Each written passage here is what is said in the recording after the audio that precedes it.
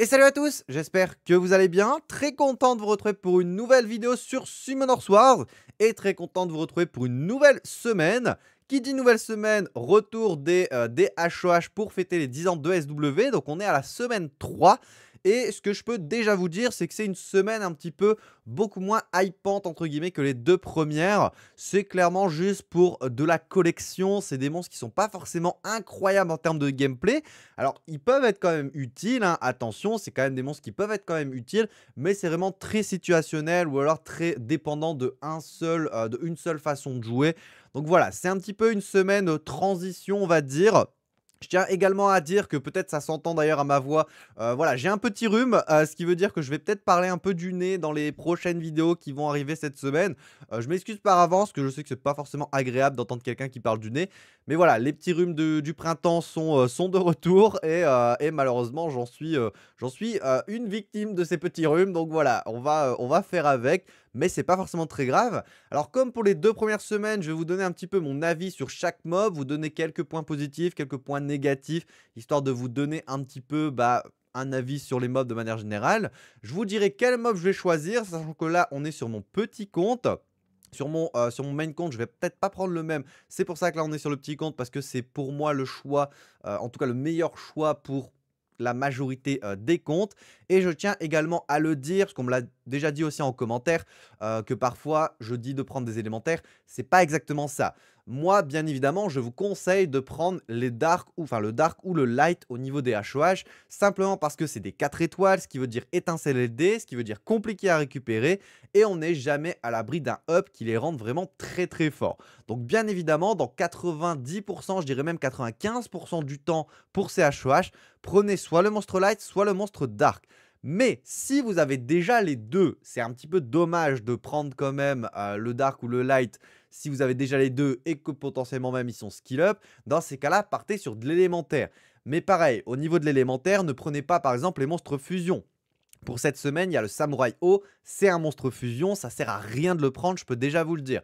Mais à la rigueur, si vous avez besoin de skill up, par exemple là pour cette semaine, il y a Draco, si vous avez envie de jouer votre Gemini, votre, euh, votre Brony Magicien O, ou alors même le feu, voire même le vent, parce qu'ils sont vraiment très très bien également, ça peut être du bon skill up à prendre. Mais bien évidemment, dans 95% du temps, pour ce retour des HOH, prenez le monstre soit light, soit dark, c'est le meilleur choix, en tout cas le plus versatile et qui vous permettra un petit peu bah, aussi de compléter votre collection qui est, euh, qui est parfois un petit peu vide hein, au niveau des dark and light, dans le sens où il faut avoir des étincelles, on connaît euh, le taux de drop des dark and light, c'est pas incroyable, donc clairement si on peut compléter un petit peu avec ces HOH, c'est quand, même, quand même mieux.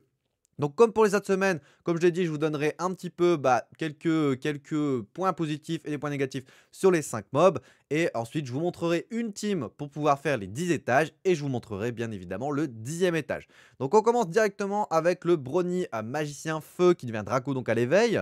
En vrai, c'est pas un monstre inintéressant. Ça va être très porté sur le PVP et notamment en Special League RTA. Mais surtout pour Special League. D'ailleurs, en parlant de ça, bah, sachez qu'elle vient tout juste de commencer. Voilà, la Special League, pour ceux qui ne savent pas, c'est une ligne un petit peu de transition entre deux saisons de RTA. Ça permet un petit peu de jouer un autre gameplay. En plus, il y a des règles très spécifiques au Special League. Là, pour le coup, on n'a pas le droit d'utiliser des Dark Knight, donc on doit partir en full élémentaire. Et je pense que des teams avec Draco on va en voir pas mal, hein, ce qu'on appelle des Japan Cleave notamment, euh, où il y a par exemple Garo, le Draco, Lucien Julie, enfin voilà. Je vous laisserai aller checker ça si vous voulez voir ce que c'est une Japan Cleave, mais en tout cas c'est une team qui fonctionne très très bien pour de la Special League. Draco en fait partie, donc pourquoi pas le prendre, en plus il a un bon sort 3 qui permet de mettre une immunité, de mettre aussi un effet, alors c'est un petit peu aléatoire, mais un effet d'augmentation de la puissance d'attaque ou d'augmentation de la défense, donc c'est plutôt pas trop mal aussi. Ça permet en plus de donner de la jauge d'attaque, donc clairement c'est un petit boost ATB immunité qui peut donner buff attaque. C'est plutôt euh, pas trop mal. Il a 106 de vitesse de base, donc c'est vraiment très très bien. Il a un skill 2 qui permet un petit peu de strip tous les ennemis et de mettre un break dev. Donc pareil, ça peut être assez sympa. Et le skill 1 des, euh, des magiciens qui permet avec 20% de chance d'obtenir un autre tour. Donc ça permet de bien cycler nos sorts.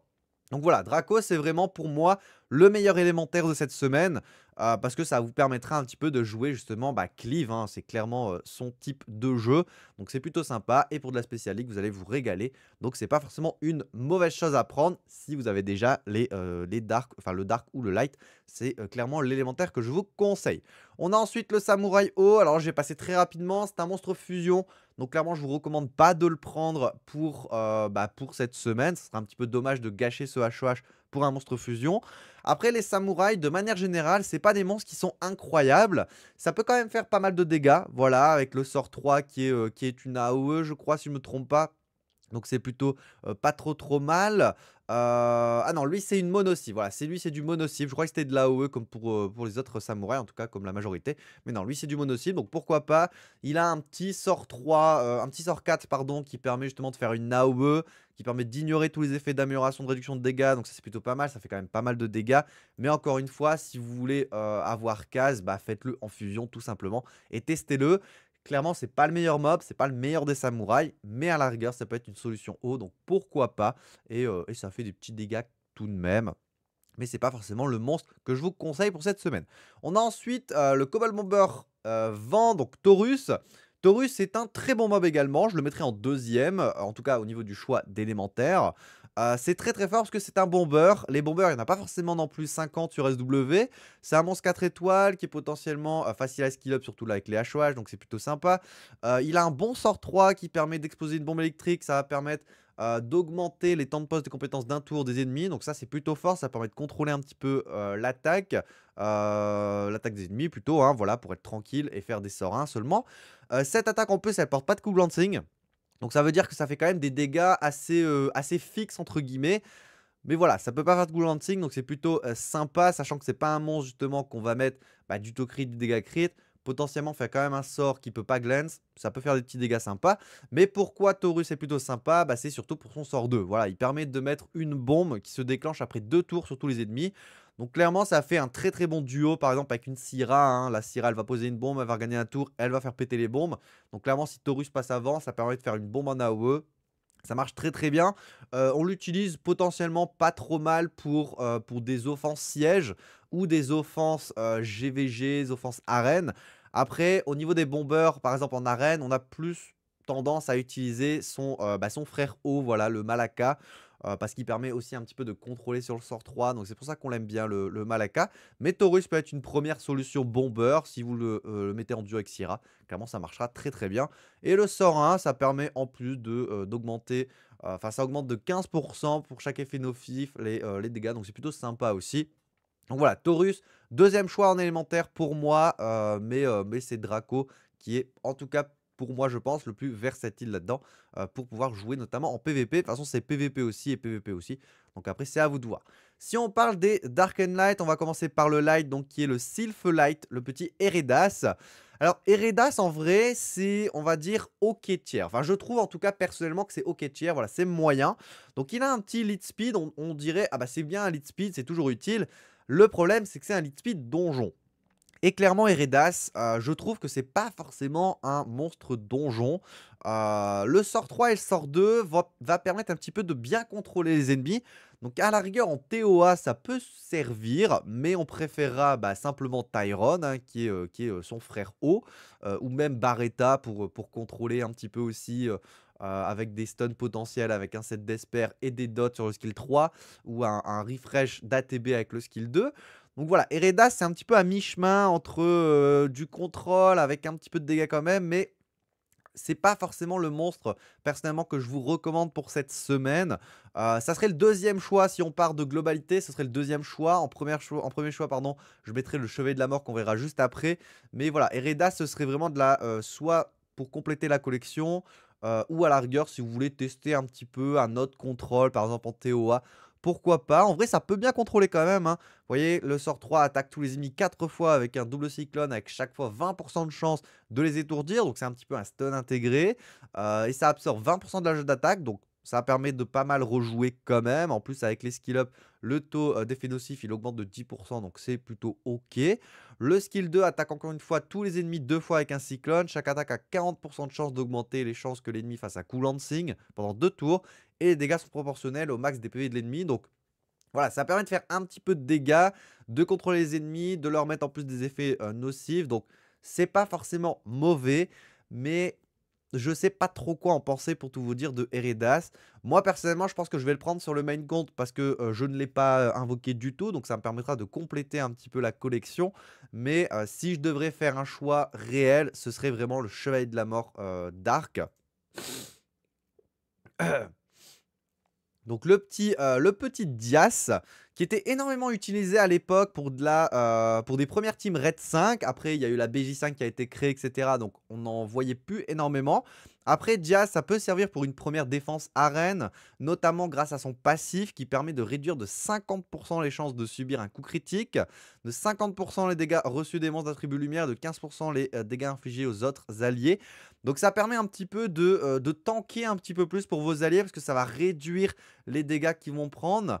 Euh, pour comparer, c'est un petit peu comme Darion. Voilà, c'est un petit peu comme Darion. C'est à peu près le même passif. Ça permet de mieux tanker.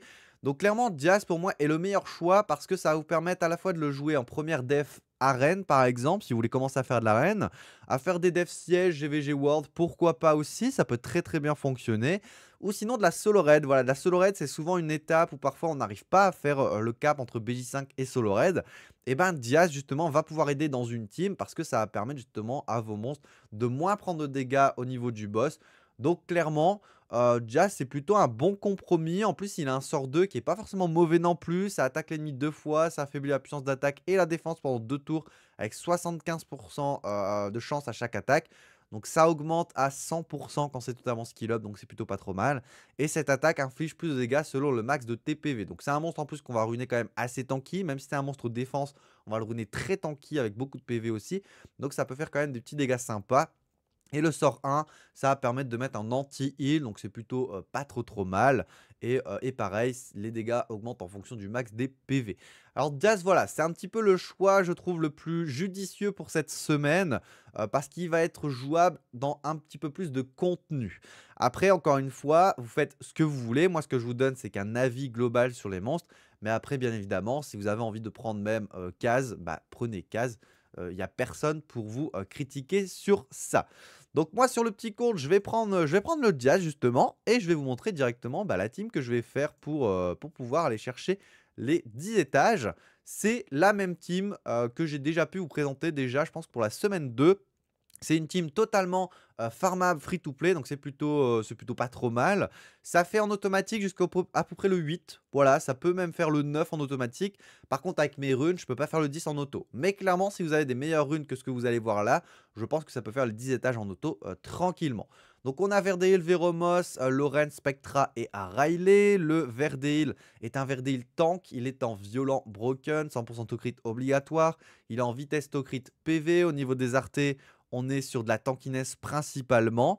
Euh, vous pouvez le mettre potentiellement en dégâts, hein, par exemple en rage lame ou même en violent lame ou en triple revenge si vous voulez profiter un petit peu aussi du revenge. Mais le seul point que vous devez aller, chercher, et je pense que vous l'avez compris à force que je le répète dans les vidéos avec Verdeil, c'est le 100% au crit obligatoire. Mais après, ça à vous de voir en fonction de votre niveau de jeu. Moi, j'ai un niveau de jeu pas forcément beaucoup avancé sur ce compte. Donc, je l'ai plutôt mis en tankiness et je profite vraiment de son euh, lead speed pour les donjons de 28%. C'est vraiment très très agréable. On a ensuite Veromos. Donc moi mon Veromos il est en shield, euh, shield broken, alors il est quasiment en fatal mais il est bien en shield seulement. Il est en PV Tocrit PV, alors pourquoi je l'ai mis comme ça? Parce qu'il est vraiment versatile à ce niveau-là. C'est-à-dire que avec les 100% au crit, il va faire quand même pas mal de dégâts sur le skill 2 parce que ça tape en fonction des PV d'ennemis. Je vous le rappelle encore une fois, mais quand vous avez un sort qui tape en fonction des PV de la cible, vaut mieux privilégier le taux crit et le dégât crit de ce fait plutôt que l'attaque, ça fera beaucoup plus de dégâts. Les autres stats, euh, vous en foutez en fait quand vous avez un petit peu euh, cette, euh, cette ligne dans votre sort en fonction des PV de l'ennemi. L'attaque, clairement, c'est pas incroyable de mettre ça sur un monstre qui possède un petit peu cette caractéristique. Le shield, c'est parce que je l'ai mis en tank. Vous avez vu, il y a en double PV, les artefacts, c'est aussi de la tankiness principalement. Et ça permet un petit peu de mettre un shield justement général sur, euh, bah, sur toute ma team. Et ça permet de mieux tanker. Au niveau des artés, je ne l'ai pas forcément dit sur Verdé, mais allez chercher du dégât crit skill 1, dégât crit skill 2, dégâts de coop. Si vous avez un Inugami dans votre compo, ça peut très bien fonctionner. Aussi un petit Raok à la place de Spectra par exemple ou de Veromos. Ça peut très très bien fonctionner également. Euh, ou sinon dégâts sur éléments, dégâts crit suivant bonne ou mauvais état des PV de la cible. Ça peut être très très bien. Pour Veromos, pour moi, le meilleur choix c'est précision sort 2, dégâts crit sort 2 Et après, dégâts en fonction des PV. Voilà, c'est vraiment pour moi les trois principaux à aller chercher au niveau des substats. simplement parce que ça va renforcer à la fois le contrôle avec le stun potentiel du sort 2 ou sinon de la rue du KTB. Ça va permettre de renforcer les dégâts avec le dégât crit sort 2. Donc c'est plutôt très très bien. Après, clairement, si vous arrivez à le mettre en violent ou même en rage, votre Véromos va faire énormément de dégâts. Après, c'est en fonction aussi de vos runes et savoir si vous voulez plus en tankiness ou en dégâts. Ça après, je vous laisse checker en fonction de votre runage. On a ensuite Lorraine, donc ma Lorraine est en Swift. Clairement, si elle était en violence, ce serait quand même mieux. Mais ce qu'il faut sur Lorraine, de toute façon, c'est un petit peu de tankiness, de la vitesse et les 85% d'accuracy pour le sort 3 en tout cas au minimum. Vous voyez que là, avec l'artefact, j'ai 81%, il manque 4%.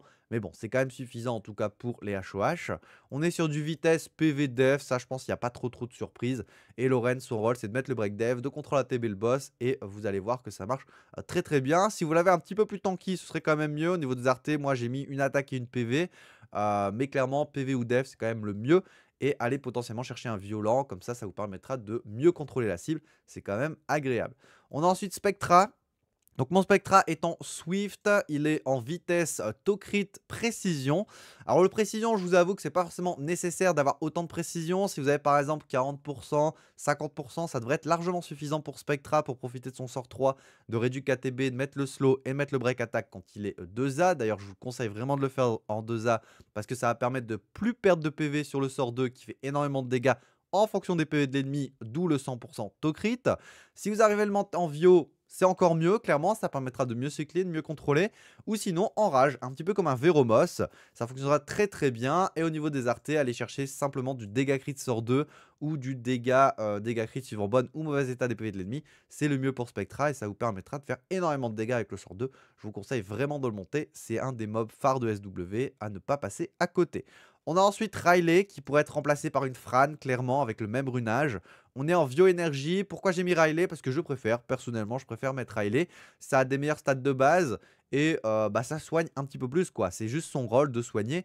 Euh, Fran peut soigner avec son sort 3 et son sort 2. Mais là, avec Riley, ça nous fait deux sorts en AOE qui permet de soigner. Ça permet de mettre quand même assez souvent l'immunité, assez souvent le buff attaque. Donc voilà, Riley, c'est quand même préférable. Si c'était Skillep, ça serait encore mieux. On est en vitesse PV def, hein, de la tankiness, rien de plus. Et au niveau des artés, aller chercher de la tankiness et aller chercher surtout récupération sort 3, récupération sort 4, mais je sais plus si ça existe. Récupération sort 1 aussi, c'est très très bien. Et sinon, euh, dégâts reçus d'éléments qui sont un petit peu amoindris, c'est le mieux, en tout cas pour Riley de manière générale. Mais dans tous les cas, ce qu'il vous faut, c'est de la tankiness. Le violent, c'est le meilleur runage, je pense, pour Riley. Si vous n'avez pas, mettez-la en Swift ou même en Broken Set, voire même en Full Energy. Comme ça, ça vous renforcera le côté euh, stat en termes de PV. Et ça sera que mieux pour la survivabilité de votre team et surtout de Riley. Voilà donc les 10 étages clear. Alors, je vous avoue que normalement, je devais euh, faire l'enregistrement du 10 étage en même temps que je le commentais, etc. Sauf que j'ai eu un petit problème avec mon enregistrement. Voilà, je ne sais pas trop euh, ce qui s'est passé. Mais, euh, bon, l'enregistrement, malheureusement, bah, était, un petit peu corrompu.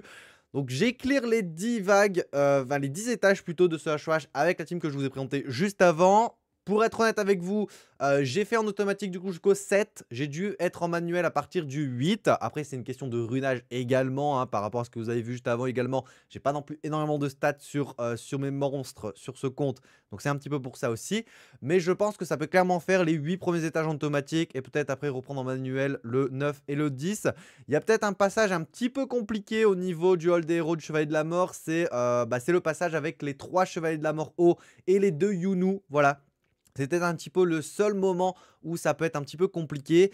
Et après, euh, au niveau du boss, euh, parfois vous allez louper des crits avec le Véromos mais, euh, ou le Verdeil, mais ça ne va pas forcément causer de gros problèmes, entre guillemets. Vous allez quand même vous en sortir clairement. je m'y suis repris deux fois quand même pour le dixième étage, pour être aussi honnête avec vous. Mais si vous avez ne serait-ce qu'un petit peu plus de chance au niveau des contrôles, ne serait-ce même que de la barre d'ATB avec le Spectra et avec le Véromos, c'est une team qui fonctionne quand même très très bien. Donc voilà pour ce HOH, voilà pour cette troisième semaine du retour des HOH des 10 ans. Encore une fois, pour moi, le Chevalier de la Mort semble être le choix le plus euh, logique, le plus judicieux entre guillemets pour vous permettre un petit peu d'être versatile avec ce mob. Mais encore une fois, faites comme vous le voulez. Si vous avez envie de prendre un élémentaire, allez-y. Si vous voulez du skill up, allez-y. Il n'y aura personne pour vous juger. Et s'il y a quelqu'un pour vous juger, envoyez-le chier tout simplement. Ça ira euh, très très bien. Si la vidéo a pu vous aider, n'hésitez pas à vous abonner, à mettre le petit pouce bleu. Moi, ça me soutient, c'est même le plus gros soutien que vous puissiez faire. N'hésitez pas à me dire en commentaire quel team vous utilisez. Hein. D'ailleurs, si vous avez des 5 nats intéressants à utiliser, ne serait-ce que Shangpong, Poséidon, euh, une Rika, un Bellinus, une Asima, même peut-être de votre côté, bah, n'hésitez surtout pas à utiliser. Ça fonctionnera très très bien pour les HOH ou même un Verad qui est le roi pour moi des HOH. Je vous retrouve très prochainement pour une future vidéo. En attendant, reposez-vous bien, mangez bien, hein, c'est le plus important. Je vous dis à la prochaine. Allez, salut